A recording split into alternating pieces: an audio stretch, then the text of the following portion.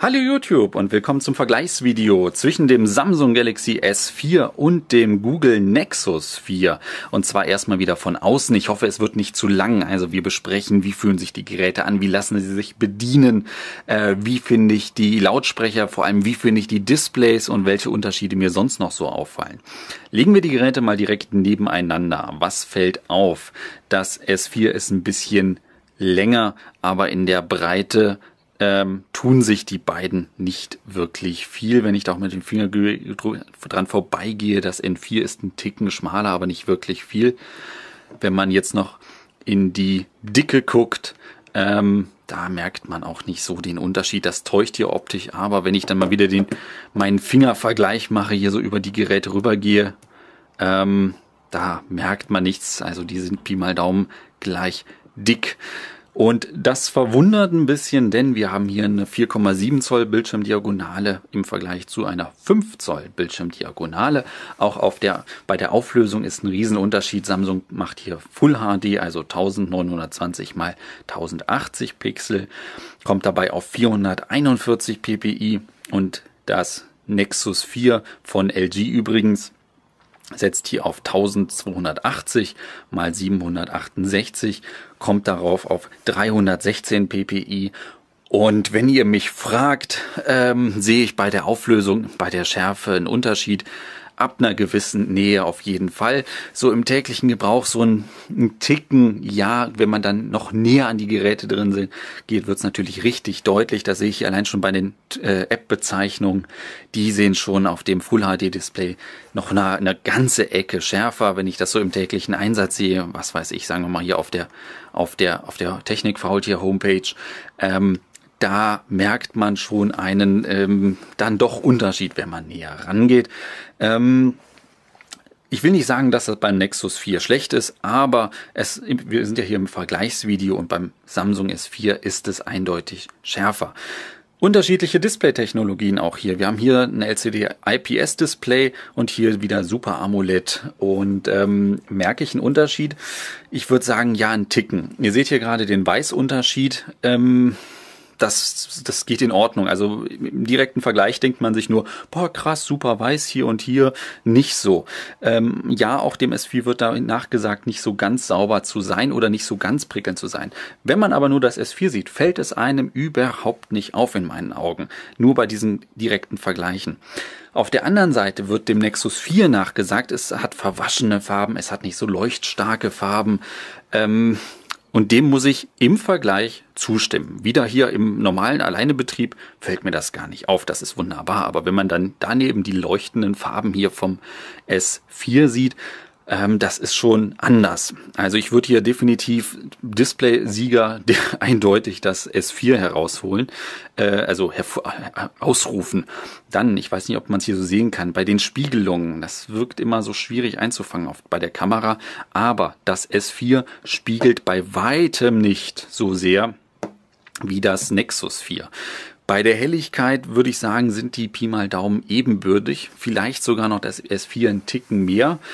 Ich komme aber mit beiden klar. Aber definitiv der Displaysieger für mich ist das S4. Ähm, kommen wir noch zu den Lautsprechern. Ähm, wie sieht's da aus? Telefonieren wunderbar mit beiden. Also Audioaufzeichnung auch so klasse. Aber wenn ich dann jetzt hier äh, ein YouTube-Video zum Beispiel spiele, ich habe es eben noch mal beim mit, mit Faultier-Video gemacht und ne? Ah nee, falsches, falsches Smartphone. So. Ähm, da merke ich schon beim Abspielen, dass S4 hat definitiv einen viel, viel, viel besseren Lautsprecher. Ähm, der ist lauter, der klingt voluminöser. Ich kann ja mal versuchen, auch wenn ich, ich habe hier mal so Probleme, ne? Ja? Und schon wieder gestoppt.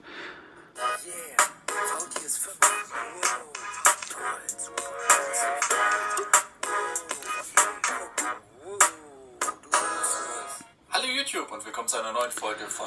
So, und jetzt mal das N4.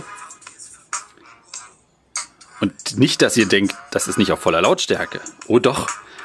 Ah, ne? Da merkt man im direkten Vergleich, klingt das hier eher dünn und schwachbrünstig. Ähm, aber was ich jetzt ja total vergessen habe, um meinen Rundgang um die Geräte und äh, vor allem der erste Eindruck, man nimmt es in die Hand. Natürlich ist das Nexus 4 fühlt sich in meinen Augen wirklich gut an. Glasrückseite, die Gummiumrandung, es fühlt sich toll in der Hand an und ich komme überall bei diesen 4,7 Zoll problemlos überall dran. Beim S4 merke ich, es fühlt sich dünner in der Hand an, obwohl es gar nicht so viel dünner ist. Es fühlt sich größer an, das merkt man richtig. Ähm, aber dann das beim 5 Zoll Display hört es dann bei mir auf. Da kommen dann hier so oben diese paar, diese halbe Zentimeter extra, den ich nicht mehr richtig äh, erreichen kann. Deswegen, also gilt, geht für mich die einfache Bedienung definitiv zum Nexus 4. Aber wie sieht's denn auf der, an der Gewichtsfront aus? Wir haben nämlich 9 Gramm Unterschied. 139 Gramm, 130 Gramm. Merkt man die? Hm? Hm? Vielleicht mini, mini, mini mal, würde ich sagen. Das liegt aber zum Teil auch daran, dass man hier eine stabile Glasrückseite hat. Also es fühlt sich halt stabiler, kräftiger in der Hand an. Hier hat man bei diesem Polycarbonat immer noch den Eindruck, das ist leicht, das ist Ne, es, obwohl es sich nicht verbiegen lässt und auch nicht eindrücken lässt, habe ich hier den, den ähm, Eindruck. Deswegen würde ich sagen, eindeutig besser in der Hand fühlt sich das trotz des höheren Gewichts das Nexus S4 an und ich kann es auch besser bedienen, weil das Display nicht ganz so groß ist. So, aber wir versuchen ja noch und müssen ja noch unsere Tour um die Geräte machen. Linke Seite, lauter und leiser Wippe bei beiden Geräten, nicht sehr kreativ. Dann oben Lautsprechereingang, also oder Aus Kopfhörereingang oder Ausgang, je nachdem, wie man sieht. Ähm, auch nicht. Da tut sich auch nicht viel. Mikrofon fürs Freisprechen. Mikrofon fürs Freisprechen ist auch beim Nexus 4 vorhanden. Dafür haben wir hier noch unsere Infrarotfernbedienung, die nicht wirklich mit vielen Geräten funktioniert, meiner Erfahrung nach. Dann auf der linken Seite noch den On-Off-Schalter bei beiden. Und Jetzt habe ich doch tatsächlich auf der rechten Seite den Micro-S-SIM-Karten-Slot vergessen beim Nexus 4. Beim äh, S4 kommt die Micro-SIM-Karte unter die Abdeckung, die sich leicht öffnen lässt und auch leicht wieder schließen lässt. Wunderbar, auch wenn man sie in der Hand hat und denkt sich, wow, ist die dünn, aber alles stabil. Vorteil hier natürlich, ich habe hier noch die Möglichkeit, die, ähm, das S4 gibt es mit 16 32 und 64 GB, wobei bisher nur die 16 GB zu kaufen sind, und einem SD-Karten-Slot, ähm, der, glaube ich, auch nochmal bis 64 GB unterstützt. Hm, Nachteil bei, von 16 GB sind schon mal äh, über die Hälfte, könnt ihr gar nicht benutzen, weil Samsung die mit Zeug vollgepackt hat.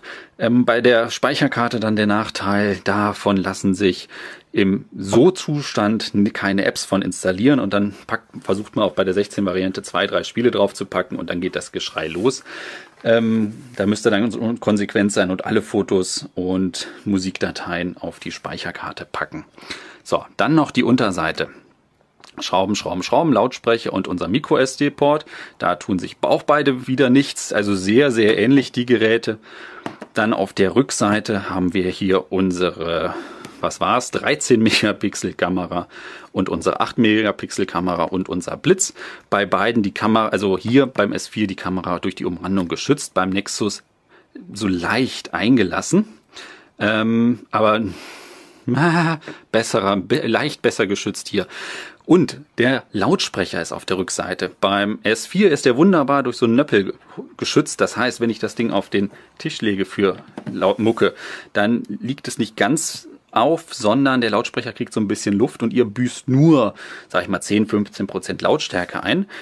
Beim S4 ist der Lautsprecher ins Gehäuse sozusagen integriert. Da ist dann hier eine kleine Öffnung. Und wenn ihr das Gerät dann auf den Tisch legt, dann ist erstmal Essig mit Sound. Also das könnt ihr dann knicken. Ähm, wo wir gerade bei den Fotos waren. Wer macht bessere Fotos? Wer macht bessere Videos? Definitiv das S4. Gar keine Frage. Da liegen ähm, ich sag nicht Welten zwischen, aber der Gewinner ist klar. Beim Nexus 4, die ist, liefert, ich sag mal, Standardqualität. Das ist noch zu gebrauchen, aber man merkt halt nach wie vor, es ist mit einem Smartphone geschossen. Hier, je nachdem, wie ich da schieße und was ich für eine Beleuchtung und so habe, sieht das Ding auch schon super aus. Kommen wir noch zur Vorderseite. Machen wir mal die Displays wieder an, damit ihr auch was seht. Und zwar haben wir da noch die ganze Reihe von Näherungssensoren, Lichtsensoren und die Frontkamera mit 2 Megapixel, die auch 1080p Full HD aufnimmt, während hier unsere 1,3 Megapixel nur in HD Ready aufnehmen. Äh, auch hier wieder der Qualitäts- und also der Bildqualitätsunterschied sowohl Video als auch äh, Fotos deutlich. Jedoch muss ich sagen, wenn ich ein Skype oder Hangout, da ist es dann total egal. Letzter Unterschied noch. Ähm, beim S4 nutzen wir das komplette Display und haben hier unten dann unsere äh, Knöpfe, ein richtiger Home-Button zum Drücken und daneben noch ähm, Sensortasten für Menü und für zurück.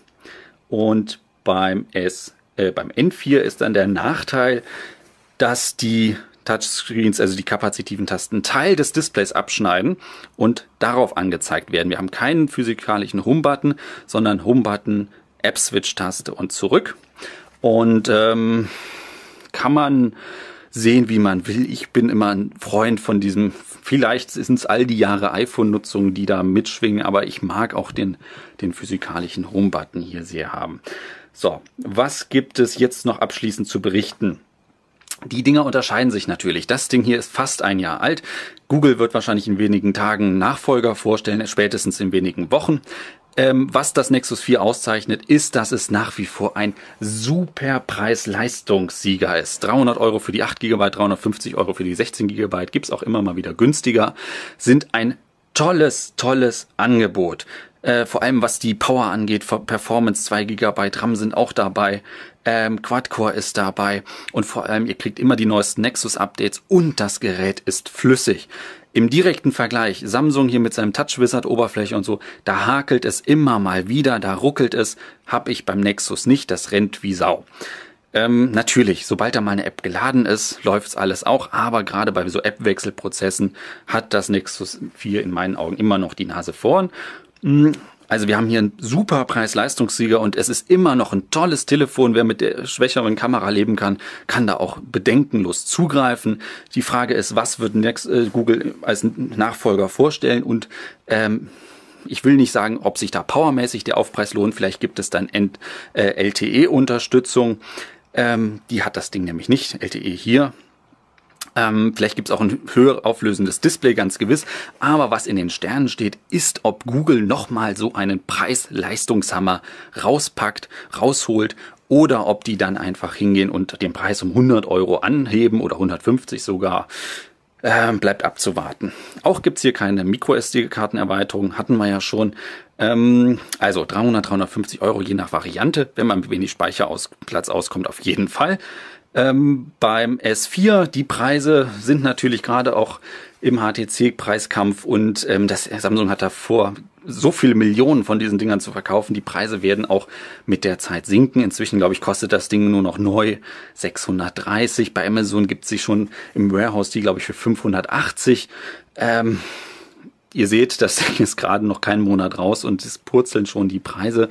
Ähm, natürlich Warehouse die ein bisschen rausgenommen, aber das Ding wird in den nächsten Monaten bestimmt noch massiv im Preis sinken. Ähm, letzter Punkt, den es noch gibt, denkt an die Update-Politik. Zum Beispiel bei den Nexus-Geräten könnt ihr sicher sein, dass ihr schnellstmöglich mit Vanilla Android dann natürlich das schnellste, die Updates von Google bekommt. Bei Samsung ist das immer so eine Sache, wenn man sich da jetzt die Update-Politik von vom S2 anguckt, wie lange das gedauert hat, äh, wie das jetzt beim S3 aussieht. Ja, also, ne, gut, was erzähle ich hier? Wem Updates, Software-Updates und neueste Android-Versionen wichtig sind, der setzt natürlich auf äh, Nexus oder der routet und passt, passt, packt sein eigenes Custom-ROM drauf und, und, und. Ähm, dem muss ich, also für, na, da muss ich nichts zu sagen. So, das war mein kurzes Vergleichsvideo mal wieder zwischen den beiden Geräten. Ich glaube, hoffe, ich habe viele Fragen beantworten können. Wenn jemand noch was wissen will, schreibt's mir, mailt's mir, textet mir, kommentiert mir und äh, macht's gut. Bis zum nächsten Video. Tschüss.